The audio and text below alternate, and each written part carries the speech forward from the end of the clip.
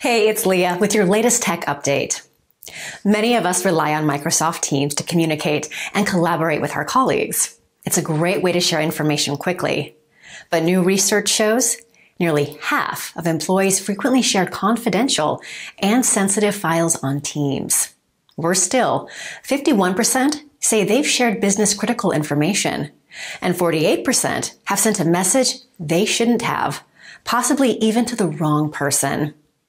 That's not a problem if you're only using secure work devices. But when your people use unsecured personal devices to send files, you could have a major security issue. Make sure everyone understands the risks of sharing data on personal devices and what precautions will keep data safe.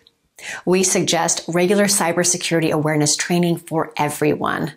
It can actually be fun. Get in touch and we'll tell you more. That's your tech update. More next week.